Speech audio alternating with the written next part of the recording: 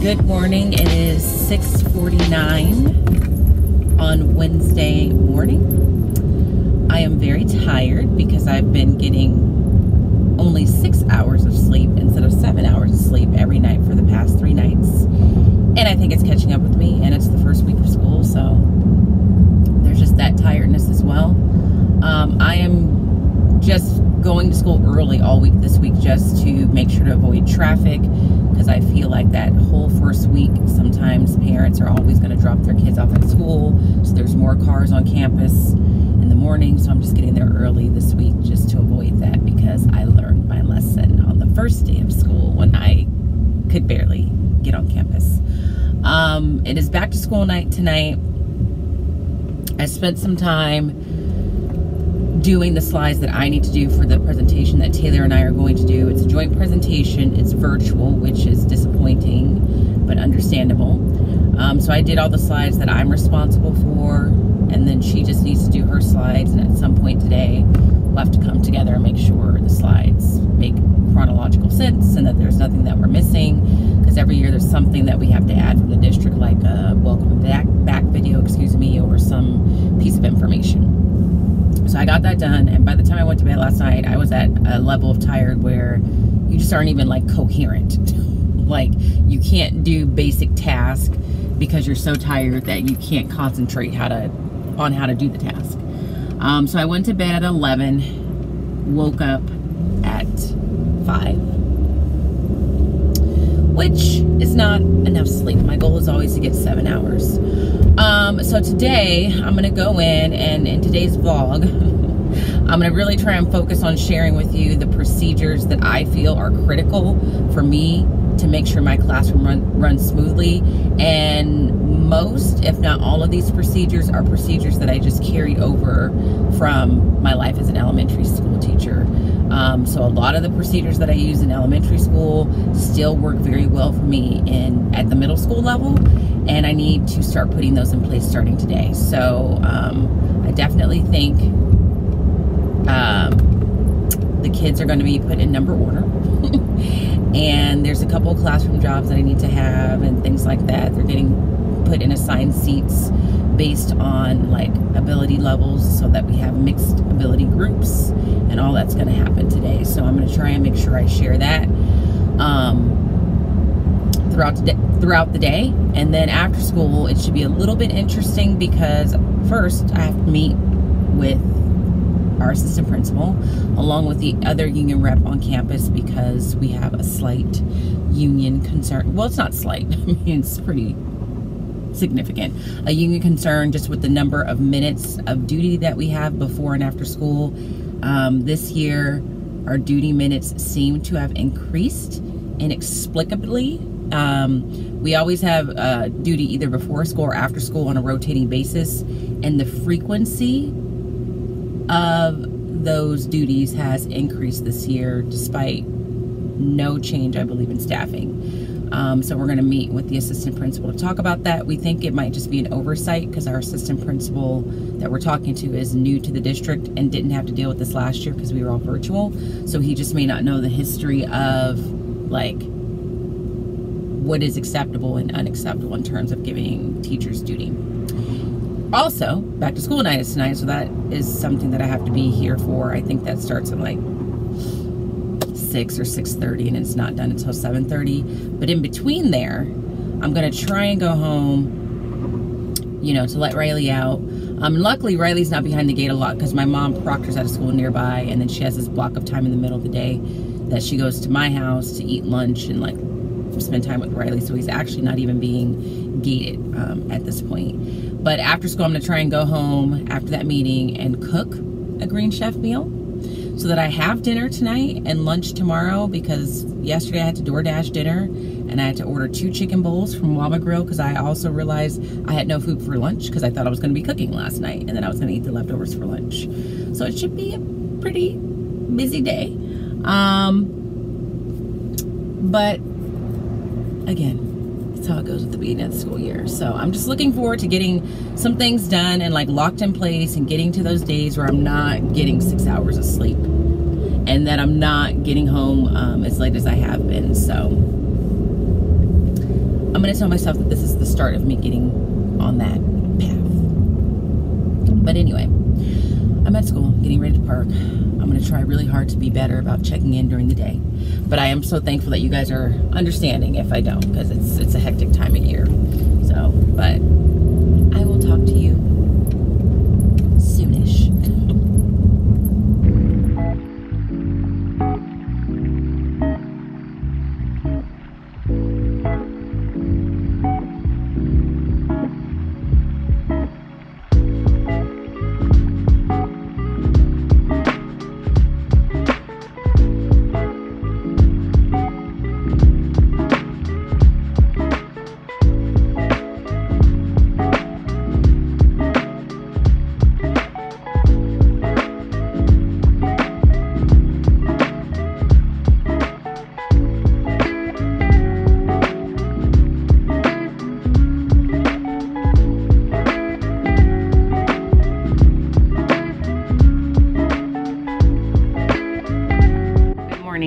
8.56 and I have four minutes of prep left. So, I'm eating breakfast. I'm logging at the same time. I'm just eating yogurt with granola. When I came in this morning, I numbered all the desks based on Kagan grouping so that there's a seat one, two, three, and four. Um, again, my class is grouped in tables of four and each table group has mixed abilities. So there are kids at different levels. So I needed to label each seat so students knew who was in seat one, who was in seat two, who was in seat three, who was in seat four. Got that done. And then I also cleared the stuff off my counter over there. The library books or um, the novel that we're reading, All Your Twisted Secrets, the or the mystery or suspense novel that we're gonna be reading with Unit 1 of StudySync um, came in and I forgot that I have actually about 60 students when I teach middle school, so I only ordered a set of 35. And I realized that as I was labeling the books this morning because every student needs to have their own copy and they need to be using the same copy and they'll keep their copies in their mailbox and I'll show you that a little bit later today when I have time. So I just emailed the district librarian and let her know that I need about 20 more copies and so she's gonna try and get those to me as soon as possible because that's not a novel that we have in bulk here at the district. So I did that and then I reset both the Kerplunk jars and I will also show you that later on today when I have more time. So I was very productive. Um, and then I made some copies and then I panicked a little because my display wasn't working, but it just needed to be updated. so we got that done. I got my homeroom class to line up in number order. So that is key number one. In middle school and elementary school, we live and die by number order in my class. It just makes my life easier in a lot of different ways. So they always line up in number order. Two lines, the class is split in half. I think the way it works right now, numbers one through um, 13 are in one line and then 14 to the end of the line are in the second line.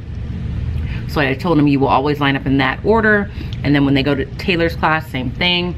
They came inside, I taught them the routine for the morning. So when they come in, music is playing.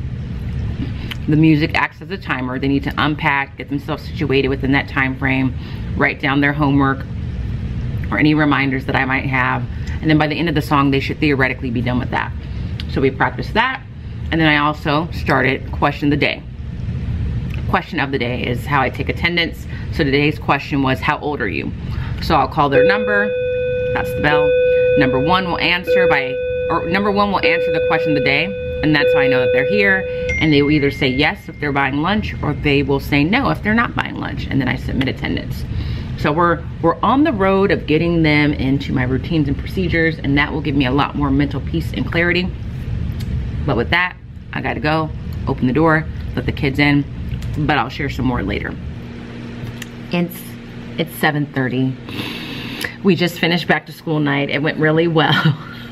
Taylor is on her way over here because we're trying to do outfits of the day for the first week of school. That's a video that I'm gonna try and put together. Fingers crossed that I can get it together. Um, and I haven't shown you what I meant to show you when I was talking to you during my prep period. So when she leaves, I'm gonna buckle down and I'm gonna show that to you guys so that I don't feel like a terrible vlogger. Every day I'm just telling them I'm a terrible vlogger. Like, sorry guys, tomorrow I'm gonna be better. Yeah. And they're like, you say that every You said that yesterday. Stop lying to us. so, so. I was just telling them I thought back to school night went well. Would you agree? I would think it went very well, actually. Yeah. The second session, there was no questions. No, it was like it was like crickets. yeah, we just it. killed every single detail. At least that that's needed. what we're telling ourselves. or they were all tired. So yeah, we're gonna do outfit of the day. Although you're kind of seeing hers.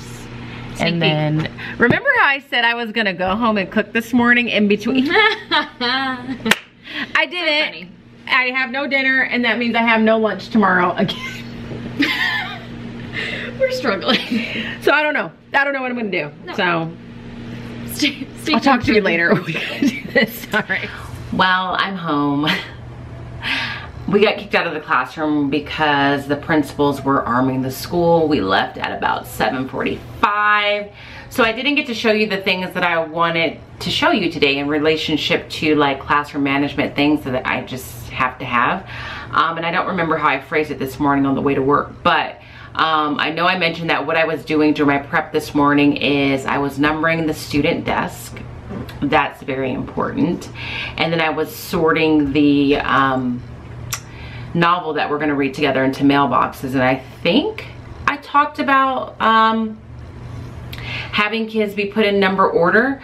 Um, and so I think my intention is just to kind of share you, with you a couple of things that I did in both the elementary school setting and the middle school setting that just work really well for me. And so one of those things is just always having kids line up in number order, turn things in in number order. Um, just because it makes it easy for grading purposes, tracking purposes, remembering kids' names at the beginning of the year. And so they know anytime we go from one place to the next and we line up, they're always in number order. There's no negotiating that. There is no ifs, ands, or buts about it. So, so today I gave them their numbers and we started that. I also use the numbers with randomizing who I call on in class to respond to questions. So I have one of those Kagan spinners and hopefully I'll remember to show it to you tomorrow where you put in the number of students that you have, you press a button and it just randomly selects a student number and they know that if it lands on you then you're answering the question. So I did that. Um, I also got back into having classroom jobs, like really because I've been out of the classroom to some extent for the past year and a half, even though we had the last six weeks of the school year together last year.